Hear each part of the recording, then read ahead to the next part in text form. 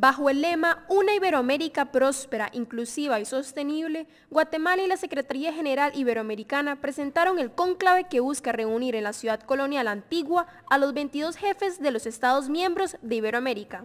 Yo creo que hay eh, muy buena recepción eh, eh, del país de Guatemala como sede de la cumbre y de la Secretaría pro tempore y la Presidencia pro tempore de Guatemala. Así que efectivamente esperamos tener eh, pues, eh, eh, la mayor concurrencia posible. El canciller de Guatemala, Raúl Morales, señaló que durante este encuentro el objetivo es desarrollar temas que impulsen el desarrollo sostenible de toda la región.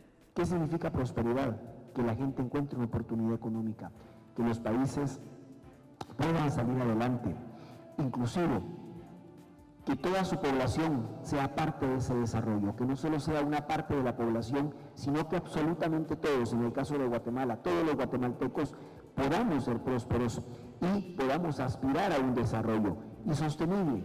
En este mismo sentido, Greenspan insistió en que la cumbre sea un escenario constructivo, por lo que esperan tener la mayor concurrencia posible de jefes de Estado.